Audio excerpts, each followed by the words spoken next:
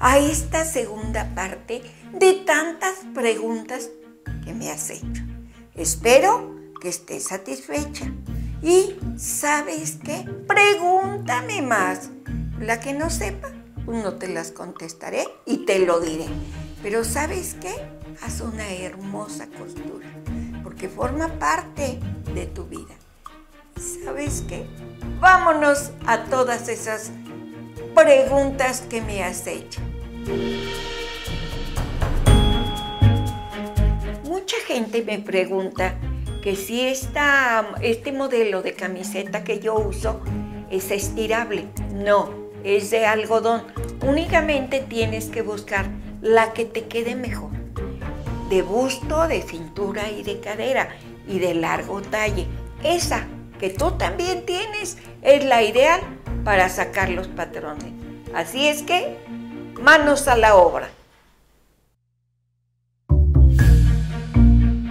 Muchas me preguntan que cómo sacar los bies. A mí me encanta poner los bies que sea de la misma tela, ya sea para cuello o para mangas e incluso para cuando se termina el vestido en lugar de dobladillo. ¿Qué vamos a hacer? Te voy a decir cómo lo hagas. Nunca usar tela que sea derecha. Tiene que ser en diagonal la tela que tú busques o que tú necesitas y darle 3 centímetros y de ahí cortar el bies. Jamás hagas bies de tela recta. Te voy a decir por qué. Porque el cuello y la sisa, como llevan curva, pues tiene que ir eh, adecuada a que haga la curva y lo vas a hacer con lo diagonal. Alguien me preguntó que qué diferencia hay entre licra y algodón.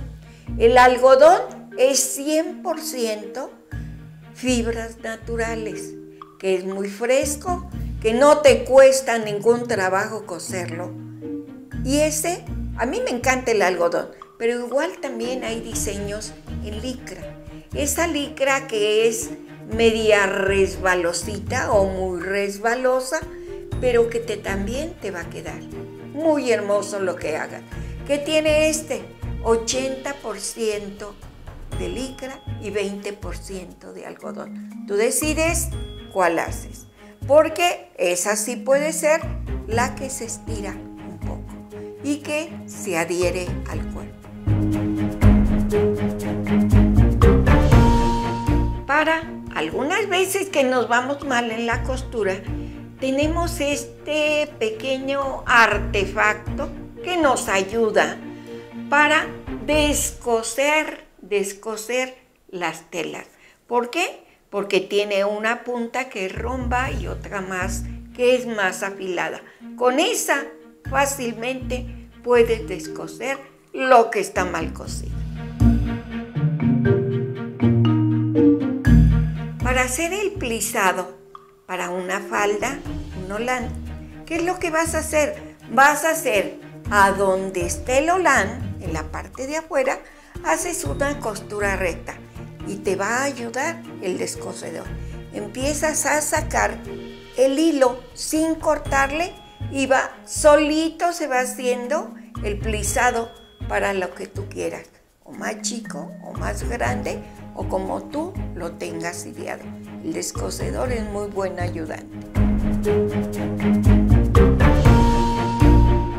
Te voy a dar un truco para que tú puedas hacer ese plisado que a veces no sabes que venden en las tiendas de tela, pero que es sencillísimo.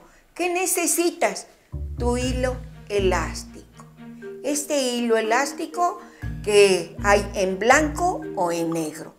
Pero no importa el color, porque tú en la parte de arriba de la tela le vas a poner el color de la tela. Pero hay un truco, que lo tienes que poner a mano en tu carretel que va abajo de la máquina, o sea, en la bobina. Este tú vas enredando sin tensión, vas enredando lo que es tu hilo elástico hasta terminar. Porque en la parte de arriba donde vas cosiendo, lleva el hilo del color de la tela. Ese es todo el truco del hilo elástico. Te van a quedar cosas bellísimas. ¿Cómo puedes mantener tu máquina en buen estado?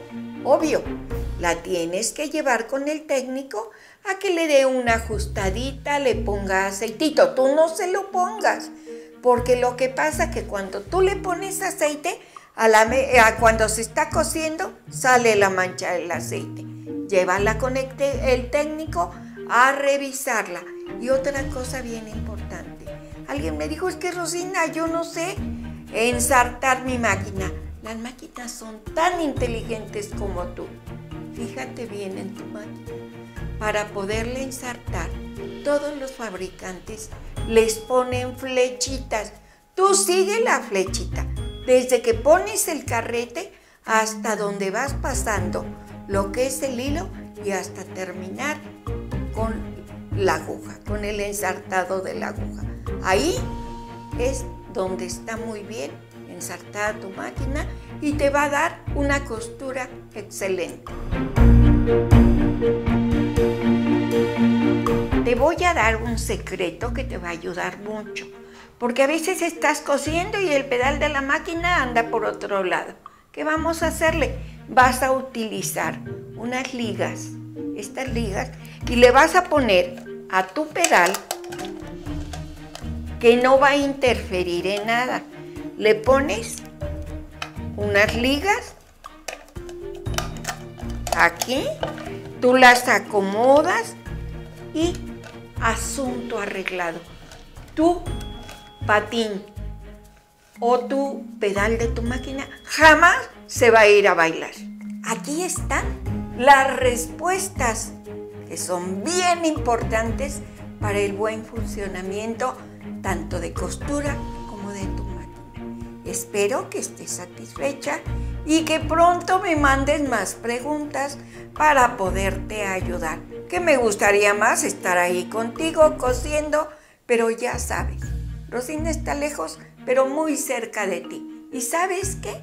Nos vemos en la próxima.